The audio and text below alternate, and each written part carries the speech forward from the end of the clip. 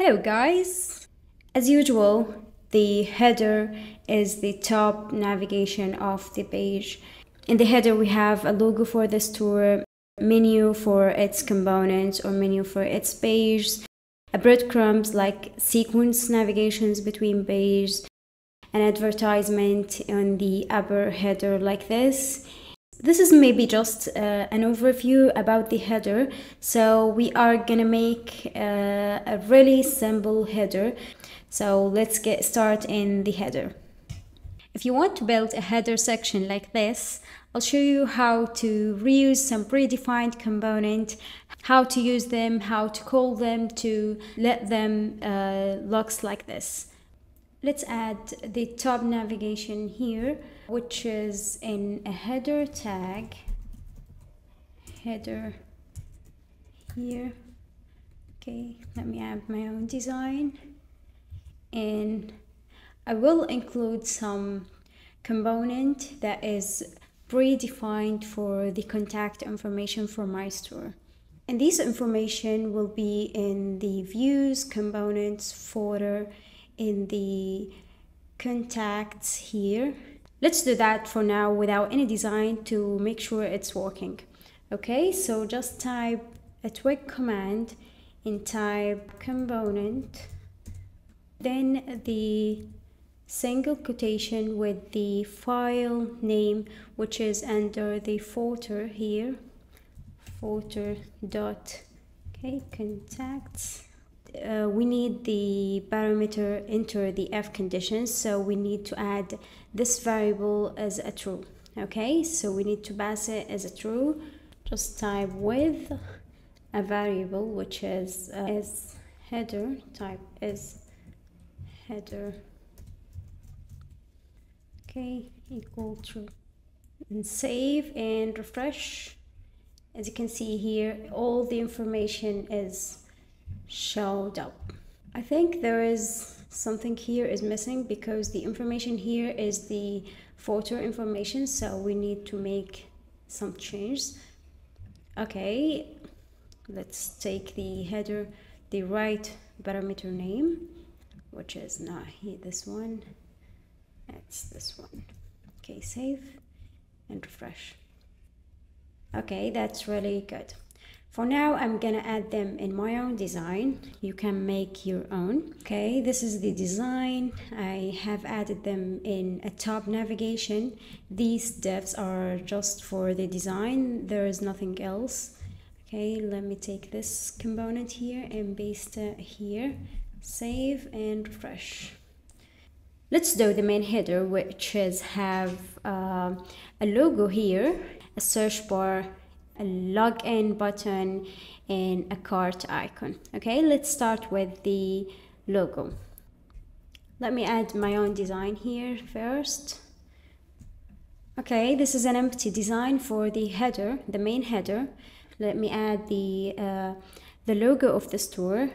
The logo is always or maybe 90% is a clickable image or clickable icon. So I'm gonna add it in a tag and that a tag has an href with a store URL.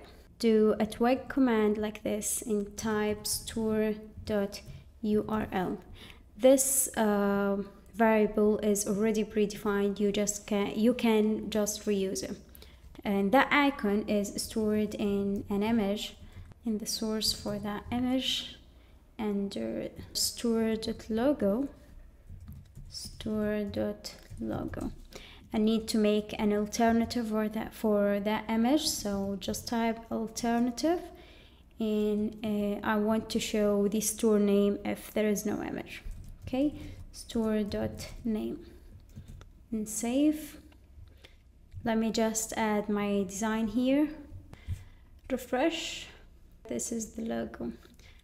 So for now we need to add the search bar here go back to the code. Okay, under the A tag, we need to add a predefined component, a predefined component with Salla.